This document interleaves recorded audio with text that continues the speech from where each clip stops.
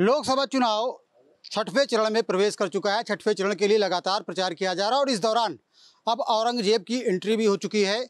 CM Yogi Adityanath ने कहा है कि औरंगज़ेब के तरीके जजिया कर लागू किया जा सकता है। दरअसल उन्होंने कहा कि विरासत टैक्स को इंडी गठबंधन लागू कर देगा।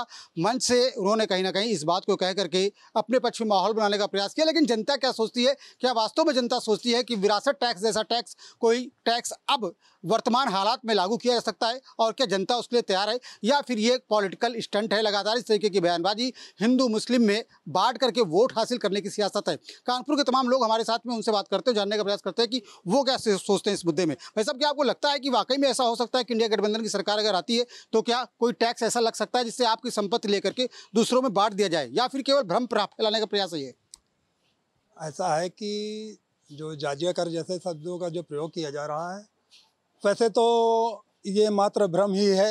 अब ऐसा हमारे हिंदुस्तान की और इतनी जनता पढ़ी लिखी है कि अब ऐसा कोई कर लगने वाला नहीं है। और दूसरी बात ये है और हमारे जो विपक्ष के लोग बैठे हुए हैं, निश्चित तौर पर हमारी पूर्ण बहुमत से पुनः भारतीय जनता पार्टी की सरकार बनने जा रही है।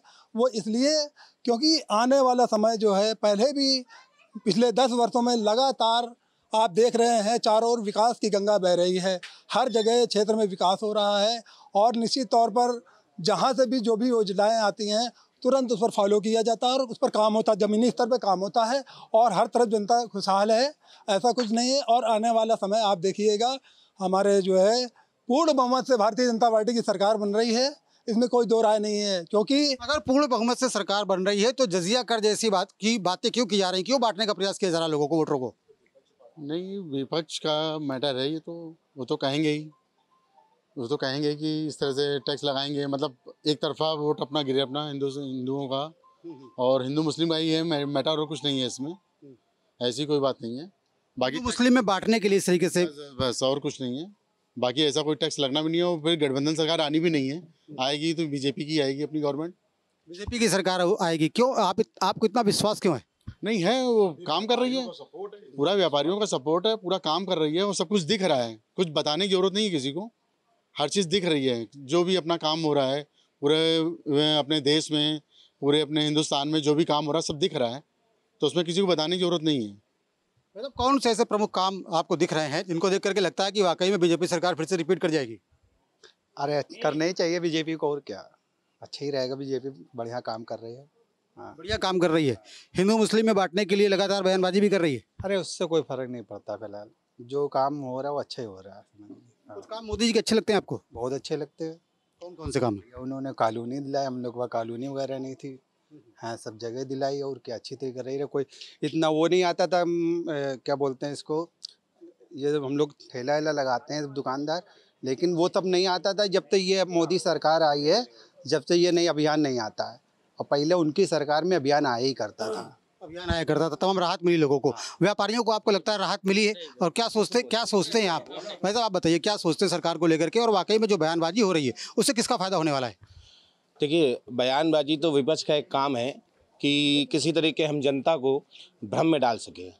तो आज जिस हिसाब से भारतीय जनता पार्टी के जो मुखिया हैं माननीय मोदी जी उनको कार्यों को देखते हुए जनता सब समझ चुकी है जिस तरह विपक्ष कई चुटकुले वाने लेकर जो भ्रम फैला रहा है, उस भ्रम में हमारे देश की जनता आने वाली नहीं है।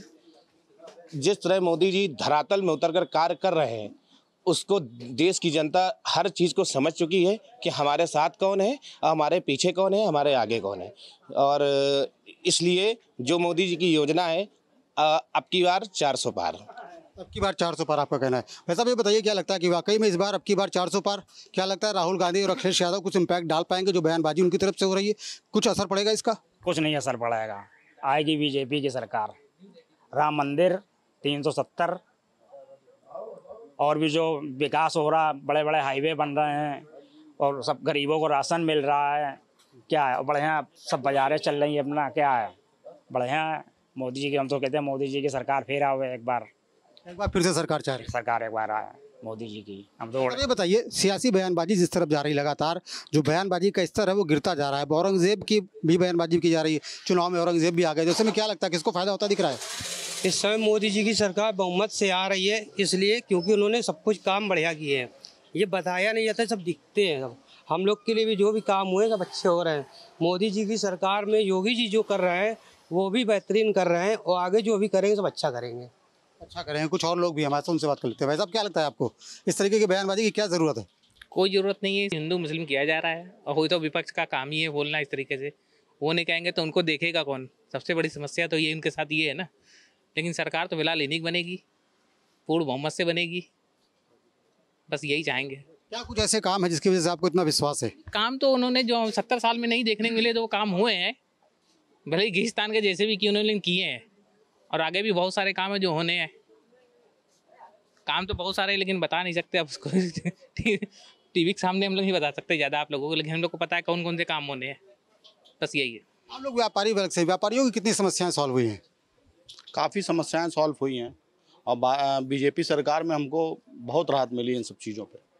ये कहने की बात है विपक्ष कुछ भी कहता रहे लेकिन बहुत प्रॉफिट है उस पर अब जो ऑनलाइन सेवाएँ चल रही हैं और जो हम लोग को उससे थोड़ा समस्या तो है ही देखिए। जो व्यापारियों को समस्या है ऑनलाइन से लेकिन फिर भी हम लोग ये चाहते हैं कि बीजेपी सरकार बने। बीजेपी सरकार बने। और जो बयानबाजी जिस तरीके से हो रही है उसको लेकर के क्या इतना स्तर गिरना चाहिए बयानबाजी का? सर ये विपक्ष है उसको कोई ना कोई तो मुद्दा चाहिए ना। डेली कोई ना कोई नया मुद्दा उठाते हैं वो लोग तो उससे जनता को कोई फ़र्क नहीं पड़ता है। अब की बात बीजेपी सरकार। जी कुछ और लोग भी हमारे साथ में उनसे बात कर लेते हैं और इतना बोलना चाहेंगे जी बताइए। कि थोड़ा सा गवर्नमेंट को व्यापारियों को थोड़ा ध्यान रखना चाहिए बीजेपी गवर्नमेंट को। जो ये ऑनलाइन वगैरह चल रहा है इसमें थोड़ा सा इस तरह से कोई भी नियम उसका बनाए कि थोड़ा दुकानदारों को राहत मिले, व्यापारियों को। क्योंकि हमारे टैक्स से ही गवर्नमेंट चल रही है। व्यापारी अगर है तो गवर्नमेंट है, और व्यापारी नहीं तो गवर्नमेंट नहीं है। इसलिए थोड़ा उनको इस पर ध्यान देना चाहिए कि कम से कम जो ऑनलाइन चल रहा है, इस पर थोड़ी सी राहत दें वो। कि जो मार्केट में थोड़ा व्यापारी परेशान है इस चीज़ को लेकर के, उस पर कुछ नियम ऐसे निकालें कि जिससे थोड़ी सी राहत मिले हम सब लोग को। साहब क्या लगता है, कुछ राहत मिली सरकार में या दिक्कतें बढ़ी हैं आप लोगों की? दिक्कतें कोई नहीं ऐसी बढ़ी हैं, सारी सुविधाएँ, मगर हम लोग जो व्यापारी वर्ग हैं, सिर्फ़ ऑनलाइन को थोड़ा सा बढ़ावा जो दिया है लोगों ने, उससे व्यापार में बड़ा अफेक्ट पड़ा है। तो हम ये गवर्नमेंट चाहते हैं बीजेपी गवर्नमेंट से ये उम्मीद करते हैं कि आगे जो भी ऑनलाइन का होगा, उसमें थोड़ा सा संयम बतरेंगी कि वो व्यापारियों की, व्यापारी से सब कुछ है। हम लोग पूरे पूरे दिन बैठते हैं, दुकान लगाते हैं, बैठते हैं, जब मार्केट में कस्टमर नहीं होगा तो किसके यहाँ सामान बेचा जाएगा? सभी के साथ में सब चीज़ जुड़ी हुई है। तो हम ये चाहते हैं, गवर्नमेंट को पूरा हमारा सपोर्ट है, पूरी उम्मीदें हैं, पूरी सरकार उन्हीं की बनेगी। राम मंदिर मुद्दा बीजेपी ने ख़त्म किया, जो 500 साल में कोई सरकार नहीं ख़त्म कर पाई थी, बीजेपी ने उसको अपने में ख़त्म किया। बनारस का टाइगोर बनाया है, काशी विश्वनाथ पूरा मंदिर बना है, उसके बाद महाकालेश्वर, वहाँ के पूरी बाइक डोर बनाया, और मोदी जी का काम बहुत अच्छा है, जो कि पूरी तरीके से हम उससे संतुष्ट हैं। हम चाहते हैं मोदी सरकार जी की सरकार बनेगी बनेगी। इसमें कोई भी दो राय नहीं व्यापारियों का पूरा समर्थन है हमेशा व्यापारी बीजेपी लोगों के साथ में है। लेकिन आपको क्या लगता है कि वाकई में ऐसा हो सकता है कि विरासत टैक्स लागू कर दिया जाए? नहीं नहीं ऐसा नहीं है। ये तो भैया जो विपक्ष में बैठा है वो तो बोलेगा ही। वो तो चाहेगा कि इनकी गवर्नमेंट बन रही तो इसमें कोई ऐसा अब्जस लगाएँ जिसमें पब्लिक विरोध में खड़ी हो। अगर पब्लिक ऐसे कुछ गुमराह नहीं होगी पब्लिक का पूरा एक मन बन चुका है पब्लिक की एक धारणा है कि बीजेपी की ही गवर्नमेंट बननी है।